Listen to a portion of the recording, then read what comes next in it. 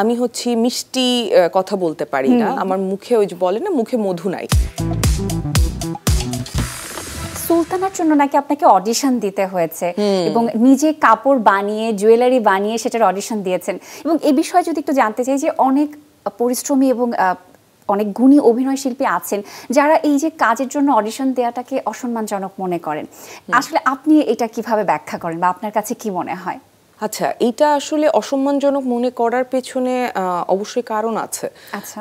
কারণ আমরা একচেটিয়া আসলে কোনো কিছুই বলতে পারছি না। এই জন্য যে আমি আজকে যেই জায়গায় এসে আমি এটা বলতে পারছি যে আমি আসলে অডিশন দিতে চাই বা আমি দিয়েছি আমি দিয়ে কাজটা করতে চাই এখন আমার অবস্থানের কারণে আমি বলতে পারছি। আচ্ছা। কিন্তু আমাদের এখানে ডেফিনেটলি ম্যাল ট্রিটমেন্ট আছে। আমাদের এখানে কিন্তু অসম্মান করার একটা প্রবণতা আছে। সো সেই প্রবণতা সামাজিকভাবে যেরকম আছে আমাদের মিডিয়াতে অনেক বেশি আছে। তো ওইটা এক ধরনের তো এংজাইটি তৈরি করে। এক অ্যাক্টর অ্যাক্ট্রেসদের কিন্তু আমার কাছে মনে হয় যে যদি আসলে কনভিন্স করা যেতে পারে একজন অ্যাক্টর বা অ্যাক্ট্রেসকে যে আসলে আমি কেন অডিশনটা নিচ্ছি তখন অবশ্যই সে কনভিন্স হবে। কারণ আমার মতো একটা মেয়ে যে আসলে খুবই গদবাধা কাজ করতো এবং আমার আমি মানে আমি সারাক্ষণ গ্ল্যামারাস মেকআপ নিয়ে ঘুরে বেড়াতাম। হ্যাঁ, হ্যাঁ। তো সেই মেয়েটাকে যখন আবদুল্লাহ মোহাম্মদ সাদ বলেছে যে রেহানার জন্য আমার অডিশন দিতে হবে উইদাউট মেকআপ সে আমাকে কনভিন্স করতে পেরেছে। তখন কিন্তু আমার মনে হয় না যে সে আমাকে অসম্মান করছে। বাট এই ঘটনা যে ঘটে না এটা না। এটা যদি আমি অস্বীকার করি যে না এরকম ঘটে না তাহলে সেটা একেবারেই মিথ্যা কথা হবে। ডেফিনেটলি এরকম ঘটে। মানে আজকে আমার অবস্থানে থেকে আমি বলতে পারছি যে আমি অডিশন দিব আমি এটা করব। বাট আমাদের এখানে নানান রকমের ম্যাল ট্রিটমেন্ট ট্রিটমেন্টের ব্যবস্থা মানে সুলতানা চরিত্রের জন্য অনেক পরিশ্রম করতে হয়েছে চরিত্রের প্রয়োজনে অনেক কিছু করতে হয়েছে। কিন্তু এখনও কি আপনার মনে হয় যে আরও কিছু করার সুযোগ ছিল যেটা করা হয়নি?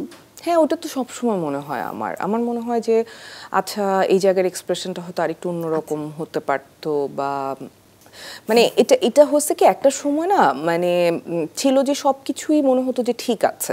কিন্তু এখন বেশিরভাগ সময় মনে হয় যে কিছুই ঠিক হচ্ছে না। তো এখন এটা এক ধরনের আবার অস্থিরতা যে একটা কাজ করার পরে খুঁতখুতানি মানে আমি তো আমাকে শঙ্খ বলছে বাঁধন আমি জাস্ট তুমি আমাকে টর্চার করে শেষ করে ফেলতেছো। বিকজ তুমি এত খুঁতখুতা তুমি এত খুঁতখুতা। মানে আমি সারাটা খুন মানে না শঙ্খ এটা এরকম না না এটা আরেকবার এরকম করে দিতে হবে এটা করতে হবে। এডিটিং এর সময়ও গিয়ে আচ্ছা এডিটিং হচ্ছে নাকি? তোমার রাফ কাট আমাকে দেখাবো। মানে আগে মানে এই স্ট্রেসগুলো আসলে হতো না। এখন মনে হয় যে না আরেকটু যদি ঠিক করে কাজটা করতে পারতাম। সো ওই আফসোসগুলো তো থেকেই যায়। বাট আমি যেহেতু ডিরেক্টরের উপর বিশ্বাসী আমি মনে করি যে আমার ডিরেক্টর যদি স্যাটিসফাইড হয় তাহলে আমার জন্য ঠিক আছে। বাট তারপর আমি শঙ্খকে অনেক জ্বালাইছি। ইভেন আমি সাতকেও অনেক জ্বালাইছি। সো আমি আমি অত লাইকেবল মানুষ না তো এবং এই বিষয়ে আমার আসলে এই প্রশ্নটা আছে যে আপনি সবসময় এটা বলেন এর আগেও একটা সাক্ষাৎকারে দেখেছিলাম যে হ্যাঁ। আপনাকে মানুষ অপছন্দ করে। কিন্তু কথাটা সত্যি না। আপনি কেন এটা মনে করেন বা কেন এটা বলেন? না না ওই যে সবাই ওই যে অর্ধেক কথা শুনে। আমি বলেছি যে বেশিরভাগ মানুষ আমাকে অপছন্দ করে বাট যারা পছন্দ করে তারা আবার একদম মন থেকে পছন্দ করে। আচ্ছা। তাদের ভালো লাগাটা আবার অন্য লেভেলের হয় বাট যেহেতু আমি ওই যে আমি হচ্ছি মিষ্টি কথা বলতে পারি না আমার মুখে ওই যে বলে না মুখে মধু নাই। সো আমার চেহারার মানে আমার বডি আমার স্ট্রাকচার আমার গ্ল্যামারের সাথে আমার মুখের ভাষাটা মানে ওদের কাছে মনে হয় যে এটা খুবই হ্যাঁ মানে কনফ্লিক্ট হয়ে যায় মানে একটা গ্ল্যামারাস মেয়ে সুন্দর করে কথা সুন্দর করে কথা বলবে সুন্দর কথা মানে সব ভালো কথা বলবে মানে সব পজিটিভ হবে ওর সবকিছু সবকিছুতে কোমল হবে ও একটা কোমল মেয়ে হবে। তো এখন আমি তো কোমল না আসলে।